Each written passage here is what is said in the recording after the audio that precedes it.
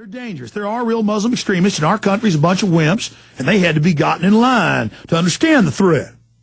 Oh, is that why you always overthrow countries and put the radical Muslims in power? Because you don't want secular first world nations that could compete with your power? Whatever. The world's a tough place. You got to be tough to beat the evil. Yeah, you got to become the evil to fight the evil.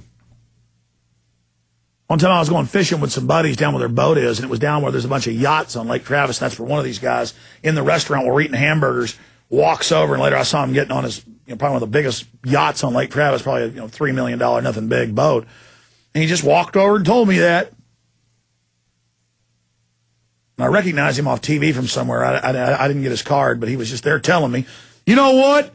We did that because we needed to. You know, I mean, I mean, these guys are just you know, they sit around drinking their whiskey. Yeah, gotta get the, gotta, gotta break a few eggs around here. Lazy Americans need to learn how to fight them Arabs. It's not about fighting Arabs so you can steal money and do whatever you want. You big fat cats that are having the feds federalize all the water to take over. It's all you guys that are raping everybody financially. You're a bunch of scum. Just stop saying you're pro-America. I mean, I mean, it's sick enough what you do. It's sick enough what you do.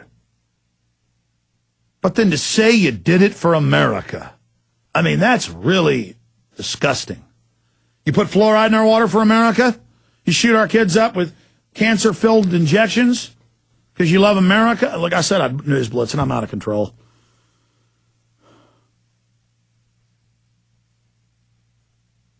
All right, here it goes. I'm just going to cover news. A lot of this already hit, but just the stacks are all here. This is the stuff you never hear. And so I'm just going to read through it. Some of it I've covered, most of it I hadn't. On terrorist watch list, but allowed to buy guns. That's the New York Times saying ban everybody being able to buy guns without judge or jury whenever the government feels like it. DOD training manual describes protest as low level terrorism. Steve Watson, Infowars.net, links to uh, AP, ACLU, uh, it says anybody protesting, it's illegal, it's terrorism. Virginia State police say anti-New World Order and gun rights activists are terrorists. They say protesting for pro-Second Amendment, you are a terrorist, go ahead and take them in, says they're dangerous. There's another one. Virginia State Police designate anti-New World Order opinion as domestic terrorism. BBC is, these will all be out of order, but there's no way to go through it all. BBC is backing election riots, claims Iran and then did you guys ever print for me where BBC admits they staged fake photos? Throw that up on screen for folks. Show them the fake. Let's just admit it. BBC. Oh, it was a mistake. actually, those people that were shot were shot by the uh, CIA or, you know. Oh, we're sorry. That was actually Ahmadinejad supporters. We said were the other guys. Uh, BBC is backing election riots, claims Iran. Iran continues hostility towards Western media, threatening harsher actions if interference in countries' affairs continues, they've launched their fighter jets. They got their ships patrolling, ready for war. The West is saying they're getting ready to hit. Protesters gather in Iran's capital despite stern warning. And again, they legitimately are dupes. Just like the Muslims that attacked Mohammed Mossadegh when the CIA blew up their mosque and said the government had done it. And that Mossadegh was going after the Muslims because he was trying to keep them from taking over society, the radical ones the CIA funded ones. They had been Hitler funded. And so they used the Muslims to overthrow them that time. And now they're going to use the young punk rock youth to overthrow the mullahs. It's unbelievable. Protesters gather in Iran's capital despite stern warning. Um, now, you're not hearing a lot about this because every day this is happening. London Telegraph, tens of thousands of Chinese fight the police in Shish, Shish Ho, I'm pronouncing that right. And it says after the police running the drugs in the town have been murdering a bunch of people that expose government drug dealing and how government uh, party members own all the hotels and businesses and everybody's sick of them ruling.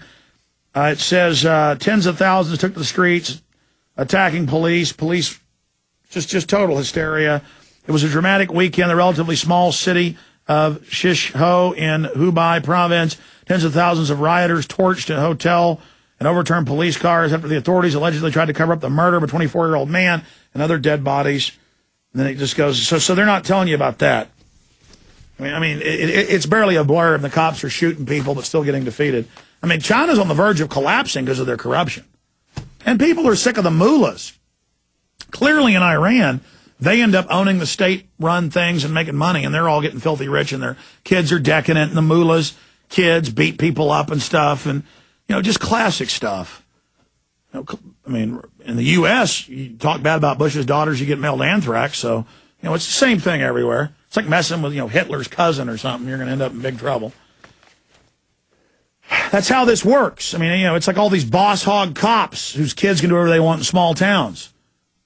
And you know, they can go up, beat you up if they want, and then you end up finally fighting back the boss hog's kid, and then boss hog has you killed. That's how it works in Texas, in Arkansas, and everywhere else, in Louisiana, Mississippi. So uh, it's the same everywhere. It's just tyranny. It's just government. It's just thieves, thieves in government. Kentucky hate crime report mentions Constitution Party. And again, we have Missouri TV, Kentucky TV. Let's go ahead and play that clip right now, just a few minutes of it, off Missouri TV.